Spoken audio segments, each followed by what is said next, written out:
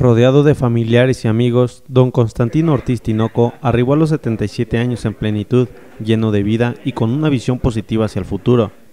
En el marco de su aniversario, el experimentado político priista ofreció un ágape a un considerable número de amistades que ha logrado cosechar a lo largo de su vida y quienes le patentaron su amistad y deseos por la vida llena de logros y éxitos alcanzados. Durante una amena tarde, la finca Las Morelianas fue el escenario para que políticos del viejo y nuevo cuño acudiera a felicitar al oriundo de Aguililla, quien durante su trayectoria ha sabido cosechar grandes y profundas amistades en lo largo y ancho del territorio michoacano.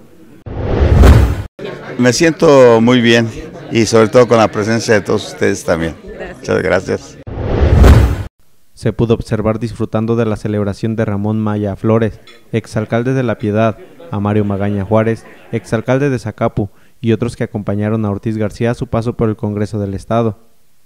Además, en esta ocasión, el profesor se vio rodeado de sus hijos, Constantino Ortiz, precandidato priista a la alcaldía moreliana, y de su hija Katia Ortiz, actual regidora de la ciudad,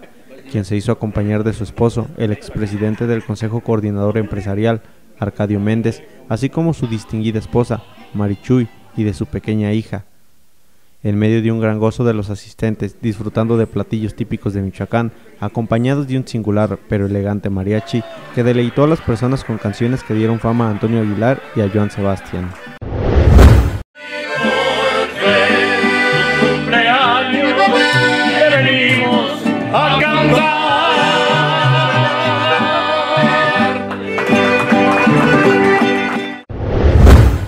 Con imágenes de Leopoldo Hernández e información de Cecilia Sierra, Agencia Cuadratín.